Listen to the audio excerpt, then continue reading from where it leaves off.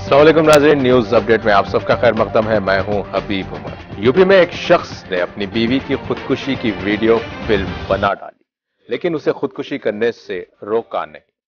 कानपुर में पेश आया बहुत ही दिल खराश वाकया। शोहर ने बीवी को अपने आप को फांसी देते हुए फिल्मा दिया।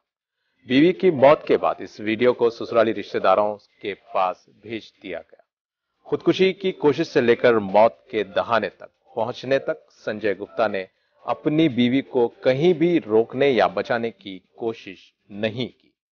यहाँ तक कि जब इसका दम निकलने के करीब था तो उसे ये कहते हुए सुना गया कि ये तुम्हारी जहनीत है, बहुत खूब, बहुत घटिया और खराब सोच है तुम्हारी। आरबीआई ने 10 दहशतगर्दों की माली तफसीलात की मरकज को रिपोर्ट करने का दिया हुक्म। बैंकों और दीगर मालियाती इदारों से कहा गया कि वो 10 अफराद से मिलते जुलते खातों की तफसीलात हुकूमत को दे दे, जिन्हें इस माह के शुरू में मरकजी वजारत दाखिला ने दहशतगर्द करार दे दिया है। गुरुग्राम की नौवीं मंजिल के अपार्टमेंट में आग लगने से खातून की दम घुटने से हो गई मौत। आग पर काबू पाने के लिए चार फायर इंजन को मौके पर पहुँचाया गया और तीन अफराद को इस फ्लैट से बचा लिया गया, जिसमें खातून रह गई गुरुग्राम के एमजी रोड पर पेश आया हादसा, जिसमें हो गई पैंसठ साल खातून की मौत।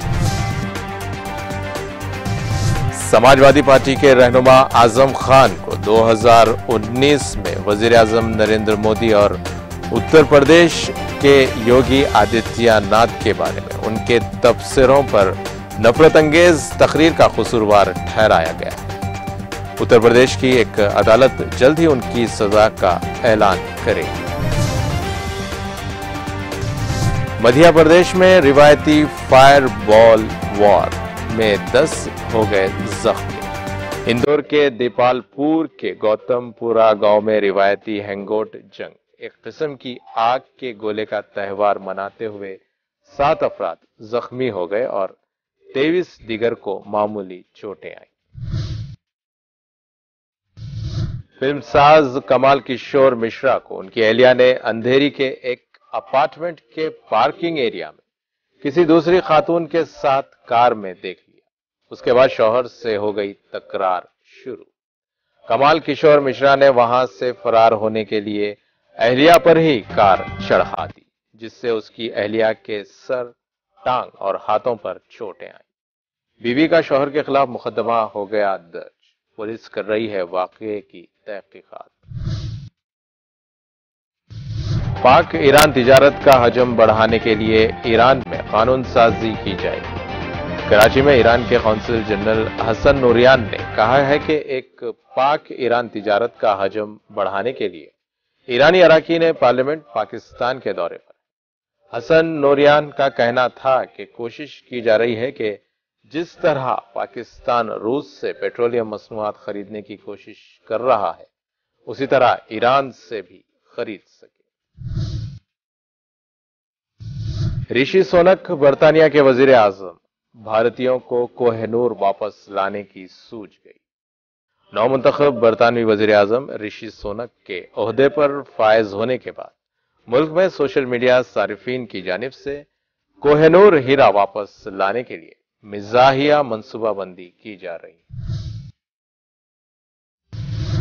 फायर हेयर कट जिसकी कोशिश हो गई नाकाम, गुजरात का एक शख्स झुलस गया। गुजरात वापी कस्बे में एक सैलून फायर बाल कटवाने की वजह से एक 18 साल शख्स शदीद तौर पर झुलस गया। मुकदमा कर दिया गया दर्ज। खलीज के लिए आइंदा छह बरस बहुत अच्छे होंगे। सऊदी वज़ीर खजाना मोहम्मद अलजद आन ने खदशा ज़ाहिर किया कि अब से छह माह के दौरान दुनिया एक बहुत मुश्किल का मुशाहिदा करने जा रही है। मुआशी चैलेंजेस जैसा कि बुलंद शरह सूत और अफरात जर तकरीबन तमाम ममालिक में बरकरार है। इसी के साथ नाजरे न्यूज़ अपडेट का सिलसिला यहीं खत्म होता है। ताज़ा खबरों के लिए देखते रहें टीटीवी और अब मुझे दें इजाज़त। अल्लाह हाफिज।